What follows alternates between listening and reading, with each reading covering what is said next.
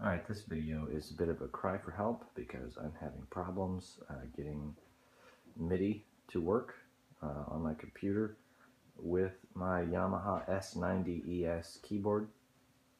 Um, it's a pretty nice keyboard um, and I know it has MIDI capabilities. Uh, it's just that when you go through the menus uh, for MIDI, it's not really clear uh, or intuitive when it comes to is it set up properly, is it not? And at the same time, um, well, you'll see on the computer how I'm trying to get that set up. I'm just not sure if they're communicating with each other properly. So if anyone can help me out, that would be greatly appreciated. Alright, so here's my setup. I've got a Dell uh, Precision 390 desktop that I've installed Ubuntu Linux on. It's, uh, I think, 14.04. I'm using Ardour 4.6 uh, and Jack, obviously. Uh, to anybody who already knows how to use Ardour, uh, Jack is probably the most popular way to, to get it all hooked up. I've already figured out how to do audio through it. That's just fine because I'm using um, this interface an Alesis IO4. It works pretty good. Um, I'll go ahead and turn on the keyboard. Right now it's hooked up via USB, uh, not MIDI to USB, but USB to USB and um, I'll go ahead and hopefully get this uh, to where you can see how I've got it set up. I'm opening jack. Okay, we'll go to setup. Right now it's as basic as it gets. There's not a whole lot. Uh, I haven't touched this really. There's a little bit different. I changed like the timeout and frames period and stuff like that just to get it where I thought it was acceptable uh, driver also. That's um, from what I've been told. That's what you need. Um, I could change like into input device an output device. It recognizes my keyboard. So to me that says there's. I know this will work. I just don't know how to get it set up right.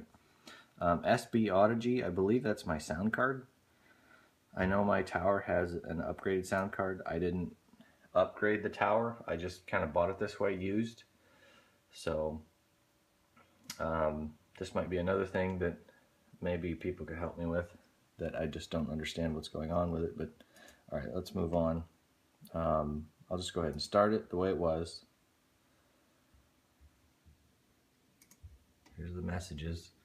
Um, I don't see anything abnormal. And then we'll open our I'll just start this one. It was one I did earlier, just as a test. It always says this, warning your system has a limit for maximum amount of locked memory. This might cause Ardour to run out of memory before your system runs out blah blah blah. It always says that. I don't think I've had a problem with it so far, but okay, so as you can see, um, I've got the one MIDI track on here. I'll go ahead and expand this. Okay, so you can hear that that's there, it's working. Um, you can see Yamaha's on here with an S90. I don't know if I need to use that setting or if I should just ignore that. Um, and if we go into, oops, the um, MIDI connections, Okay, right now, like this is the part I really have no idea what should should be or shouldn't be connected. Like here, if I connect MIDI out and MIDI in in Ardour tracks, I get a feedback warning. Um, so I'll disconnect that. The other thing is this little red light. You click on this and I get this. Error jack cannot use real-time scheduling and Jack Client acquires um, or acquire self real-time error. I don't know if this has anything to do with it or not, but that's been happening as well. Okay, now if I go over here to my MIDI input, it says Ardour Auditioner MIDI out. No idea if that's right. Not a clue. Um, if I come down here to the MIDI output says it's disconnected. Um, don't know which one to use. I don't know. MIDI master control in or MIDI out left and right. I'm not sure. Here's the other problem. Okay, so one, there's that. I don't know how to set that up to what's correct. I don't know what's correct. Two, I go into jack here. I go to connect. And I've seen other videos where people have this open. They show ALSA. They show their keyboard for readable clients and writable. And over here on writable, they have um, Ardour. I don't have Ardour. I don't know why it's not on here. I have these two. Uh, Audigy, which I think is my sound card. I don't know what to do with it. And this one, I don't know what EMU 10K1, I, from what I've looked up online, I guess that's a sound card too. I don't understand what's going on here.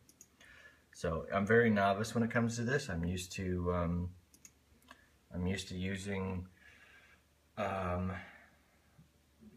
external, um, like, like one of these, a recorder interface controller. That's what I'm used to. So going to, to a computer is, is alien to me. Um, patch bay, uh, I'll just expand all. So here you can see my outputs, inputs. Again, none of that's plugged in, so obviously something's not going to work even when I come down here. Okay, this is the keyboard menu. We'll go to MIDI. Okay, and it says uh, basic receive channel 1, keyboard transmit channel 1, device all, um, which I think that's correct, I don't know. Go over to switch, I have no idea what any of these mean, or if I should change them. Sync, no idea. Other, this one should be on USB. There, so now it's on USB.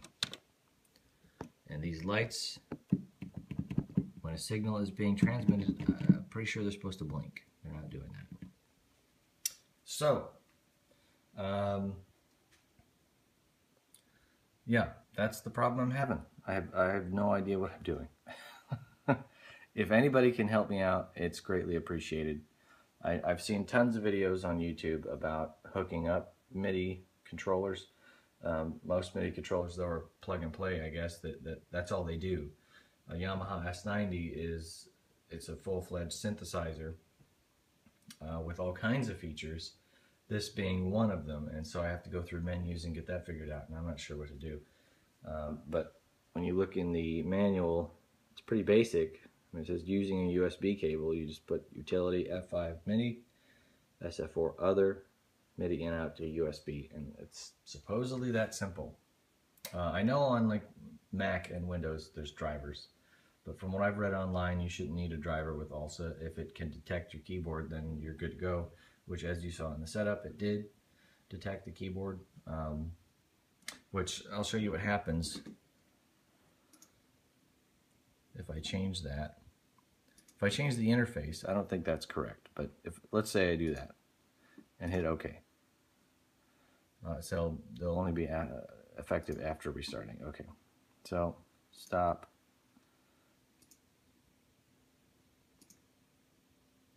This is what happens.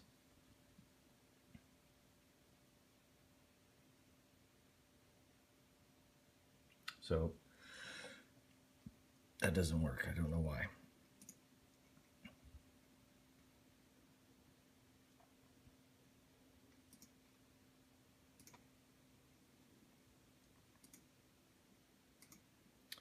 So if we just say, let's change it to input being this, okay. Oh, that's great. So it closed Ardour. Same thing happens though.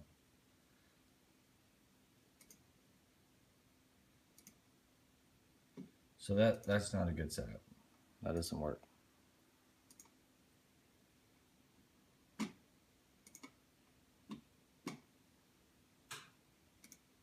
So that's my problem. Um, I really have no idea what I'm doing for.